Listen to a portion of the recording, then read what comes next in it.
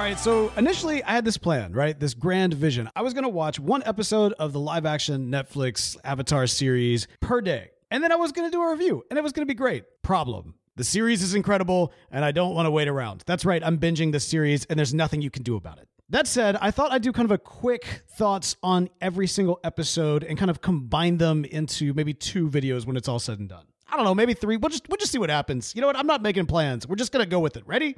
Here we go.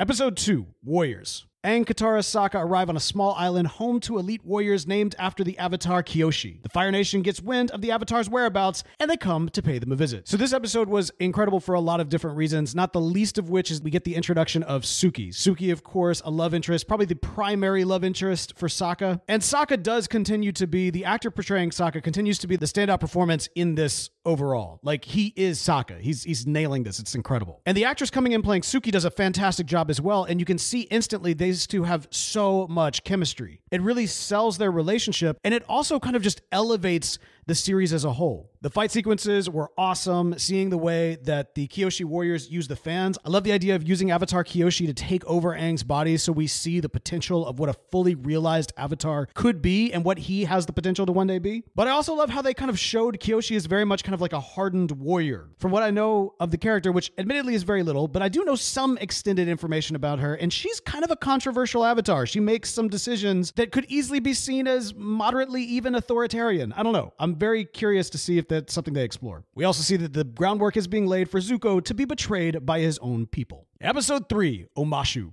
This is the first episode where we really see a bunch of the cartoon lore being kind of squashed into one story, and this might be a controversial take, but I think they do it very, very well. News of a traitor puts the Aang Gang at odds in Omashu, where a mechanist and rebels, with a charming leader, muddle their plans to protect the Earth Kingdom. I love the way this episode starts off with somebody that, for fans of the series, we might think is Jet. Like that kid they show with kind of the uprising in the Fire Nation, like instantly you think, oh, maybe this is Jet. Maybe we're actually getting introduced to him, A, this early, B, in a different location than we would expect, and C, doing something as bold as to go directly up against the Fire Lord himself. Spoilers, that that's not Jet. But it does prepare us for the fact that we are going to get a Jet in a very different way from what we got in the animated series. Once again, fantastic acting. Jet portrayed to perfection. Wonderful chemistry between him and Katara. And I really felt like this episode in particular, our main trio, you could see they're getting comfortable with their characters. You could see how they're really kind of living into these roles and doing a fantastic job with it. Also, Danny Pudi's here, so that's that's just a win, no matter what. That's instant win. Episode four, Into the Dark. Now there is a lot about this episode I could say, but the thing that I really want to focus on is the brilliant usage of music. Yes, of course, there is the smash hit banger that we all know to be Secret Tunnel is in this episode. And I thought they actually handled this really well because it would be so easy to go overly campy, do the entire song, reenact the entire iconic scene. Like they could they could do that, but they didn't. And I thought that was that was brave, that was bold, that was the right thing to do. But at the same time, they didn't shy away from it. We still got the song, and it worked really well. They just didn't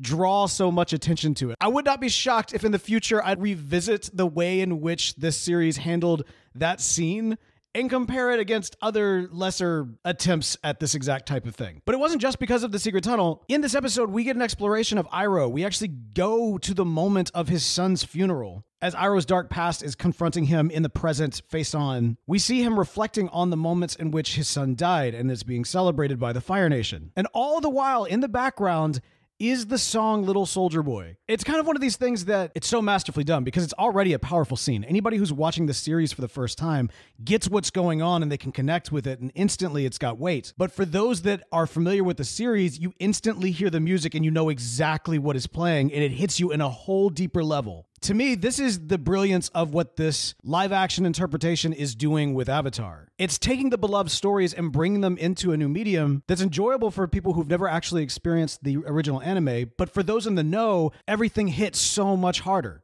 So there you go. Those are my very rushed thoughts on those three episodes. Would love to know what you think. I'm right here at the halfway point in the middle of the series. Let me know your thoughts. Feel free to share any comments on these episodes in the comments below, but steer clear from spoilers for the episodes that follow. Is that complicated? That, that sounds a little complicated. Let's talk about it.